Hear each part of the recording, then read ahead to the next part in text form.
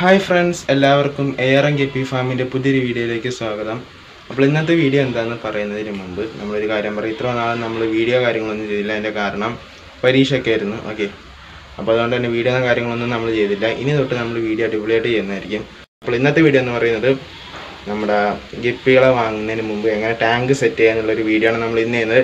എന്തായാലും കാണേണ്ട വീഡിയോ ആണ്. കാരണം ഇപ്പോൾ വെക്കേഷൻ ടൈമൊക്കെയാണ് അപ്പോൾ എന്തായാലും ഗപ്പികളും ഫ്ലാറ്റുകളും മൂളികളൊക്കെ നമ്മൾ വാങ്ങിക്കുന്നതായിരിക്കും.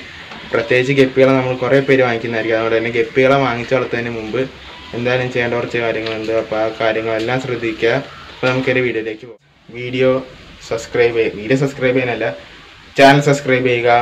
അതുപോലെ തന്നെ വീഡിയോ ലൈക്ക് ചെയ്യുക ഷെയർ ചെയ്യുക മാക്സിമം സപ്പോർട്ട് കമന്റിലൂടെ അറിയിക്കുക. അപ്പോൾ നമുക്കൊരു വീഡിയോയിലേക്ക് ഫ്രണ്ട്സ് ഇപ്പം നമ്മുടെ കയ്യിൽ ഒരു ഗപ്പി പോലും ഇല്ല കേട്ടോ. ആകെയുള്ളത് കുറച്ച് മിക്സഡ് ഗപ്പികൾ മാത്രമാണ്. നോക്കി അപ്പോൾ ആദ്യം തൊട്ട് തുടങ്ങാം.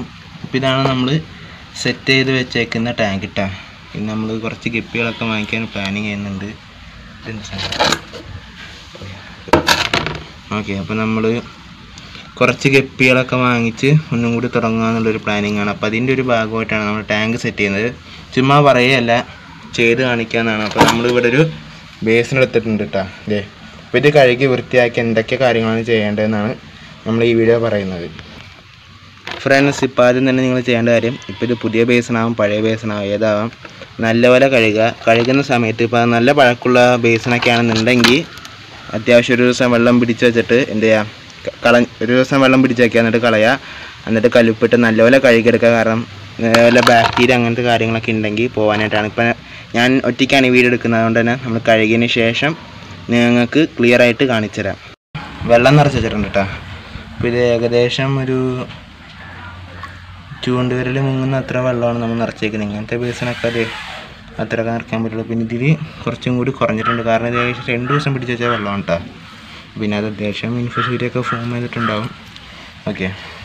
അപ്പോൾ നല്ല വെള്ളം ഒന്ന് പിടിച്ച് വയ്ക്കാൻ പറ്റുമെങ്കിൽ പിടിച്ച് വയ്ക്കുക അല്ലെങ്കിൽ ഇപ്പോൾ നിങ്ങൾ വൈകുന്നേരം വാങ്ങിക്കാൻ പോകുന്നുണ്ടെങ്കിൽ രാവിലെ തന്നെ വെള്ളമൊക്കെ പിടിച്ച് വയ്ക്കുക എന്നിട്ട് ഇതിൽ കല്ലുപ്പൊക്കെ ഇട്ട് സെറ്റാക്കിയേക്കാം ഇപ്പോൾ കല്ലുപ്പ് എന്റെ കയ്യിലില്ല തീർന്നു പോയി അപ്പോൾ വീഡിയോ എടുത്തതിന് ശേഷം എനിക്ക് വാങ്ങിച്ചിട്ട് വരണം. ഓക്കെ.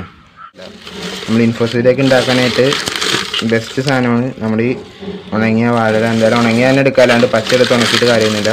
പിന്നെ നമുക്കിത് കഴുകിയെടുക്കാം അപ്പോൾ നമ്മൾ നമ്മുടെ വാഴയിലൊക്കെ കഴുകിയെടുത്തിട്ടുണ്ട് കേട്ടോ നിങ്ങൾക്ക് വെള്ളത്തിനകത്തുള്ള അഴുക്ക് കാണുമ്പോൾ മനസ്സിലാകുമെന്ന് വിചാരിക്കുന്നു.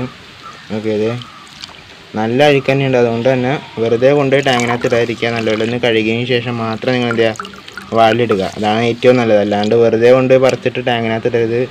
നല്ല അഴുക്കുണ്ട് കേട്ടോ ഇത് കാണാൻ പറ്റുന്നുണ്ടെന്ന് വിചാരിക്കുന്നു. അപ്പോൾ നമുക്ക് നമുക്കിത് കൊണ്ടുപോയി ടാങ്കിനകത്ത് ഇട്ടേക്കാം ഗൈസ് അപ്പോൾ നമ്മൾ ടാങ്കിനകത്ത് നിന്ന് ഇട്ട് കൊടുക്കണ്ട കേട്ടോ അപ്പോൾ ഇത് എന്തിന്റെ ഇടയെന്ന് വെച്ച് കഴിഞ്ഞാൽ ഗപ്പികളുടെ കളറും കൂടും. അതുപോലെ തന്നെ ഇൻഫോസൂര്യ എന്ന് പറഞ്ഞൊരു കൾച്ചർ നമുക്ക് ഉണ്ടാക്കാം. അതായത് ഗപ്പിയുടെ കുഞ്ഞുങ്ങൾക്ക് നല്ലതാണ്. ഗപ്പികൾക്ക് നല്ലതാണ് ഓക്കെ ഇപ്പോൾ ഈ വെള്ളത്തിൽ ചെറിയ ചൂടുണ്ട് കേട്ടോ അപ്പോൾ നമുക്ക് കുറച്ചുകൂടി വെള്ളം ഒന്ന് ആഡ് ചെയ്ത് കൊടുക്കണം. ഇത് കുഴപ്പമില്ല. അപ്പോൾ നമ്മൾ അത്യാവശ്യം വെയിലടിക്കുന്ന സ്ഥലമല്ല? ചെറുതായിട്ട് വെയിലടിക്കുന്ന സ്ഥലമാണ്. എന്നിട്ട് നല്ലൊരു ചെറിയൊരു ഇളം ചൂടുണ്ട് കേട്ടോ അപ്പോൾ അത് നമ്മൾ ശ്രദ്ധിക്കണം. ഡയറക്റ്റ് വെയിലുള്ള സ്ഥലത്തൊന്നും വയ്ക്കാതിരിക്കുക. വെച്ചെന്ന് വെച്ച് കുഴപ്പമൊന്നുമില്ല. അങ്ങനെ വെയിൽ ചൂട് കൂടാതിരിക്കാൻ ശ്രദ്ധിക്കുക. എന്ന് വെച്ചാൽ നമ്മൾ വെള്ളത്തിൽ നിന്ന് തൊട്ട് നോക്കുമ്പോൾ തന്നെ അറിയാൻ പറ്റും വെള്ളത്തിന് നല്ല ചൂടാണോ തണുപ്പാണെന്നുള്ളത് അപ്പോൾ അങ്ങനെയൊക്കെ കാര്യങ്ങൾ നോക്കുക. ചൂട് ഓവറാകാൻ പാടില്ല. ഓക്കെ അത് മെയിനായിട്ട് ശ്രദ്ധിക്കുക. അപ്പോൾ നമ്മൾ ടാങ്ക് സെറ്റ് ചെയ്യുമ്പോൾ നമ്മൾ ഇങ്ങനെ സെറ്റ് ചെയ്യുക. പിന്നെ ഇങ്ങനെ ഇടുന്നതുകൊണ്ട് വേറൊരു ഉപകാരവും കൂടി ഉണ്ടെന്ന് എന്താണെന്ന് വെച്ച് കഴിഞ്ഞാൽ ഇപ്പോൾ ബ്രീഡിംഗ് കേജ് ഇല്ലാത്തവർക്കും അതുപോലെ തന്നെ ഇപ്പോൾ എന്റെ ഒരു അനുഭവം പറയാം. എനിക്കിതുവരെ ഫോക്സ് സ്റ്റൈൽ അങ്ങനത്തെ പ്ലാന്റ് ഒന്നും പിടിച്ചിട്ടിട്ടില്ല. അപ്പോൾ അങ്ങനത്തെ ഉള്ളവരാണെങ്കിൽ ഇതുപോലത്തെ വാഴല കഴുകിയിട്ട് ഇതിപ്പോൾ കണ്ട ഇതുപോലെ ആയി കിട്ടും. ഇങ്ങനെ ഇട്ട് കഴിഞ്ഞാൽ അത്യാവശ്യം തന്നെ കുഞ്ഞുങ്ങൾക്ക് ഒളിച്ചിരിക്കാനുള്ള സ്ഥലം ഉണ്ടാകും ഓക്കെ അപ്പോൾ അതിനും കൂടി നമുക്കിത് ഉപയോഗിക്കാം. ഇത് വീഡിയോ ഇത്രേ ഉള്ളൂ. നിങ്ങൾക്ക് ഇഷ്ടപ്പെട്ടെന്ന് വിചാരിക്കുന്നു. മാക്സിമം സപ്പോർട്ട് ചെയ്യുക. കാരണം ആദ്യമായിട്ട് മീനെ വളർത്തുന്ന ആരെങ്കിലും നിങ്ങളുടെ പരിചയത്തിലുണ്ടെങ്കിൽ ഈ വീഡിയോ എന്തായാലും ഷെയർ ചെയ്യുക.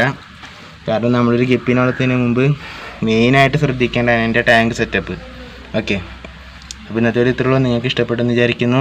നമുക്ക് അടുത്ത വീഡിയോയിലേക്ക് കാണാം. താങ്ക്